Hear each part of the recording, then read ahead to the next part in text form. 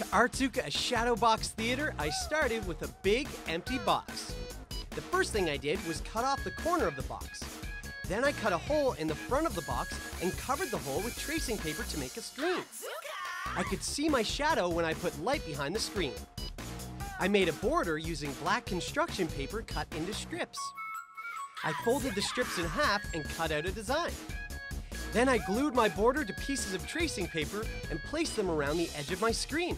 I made some characters for my theater by cutting them out of construction paper and taping each one to a pencil.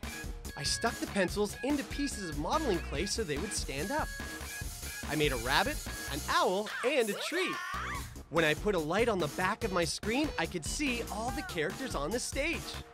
And that's how you Artsuka a shadow box theater.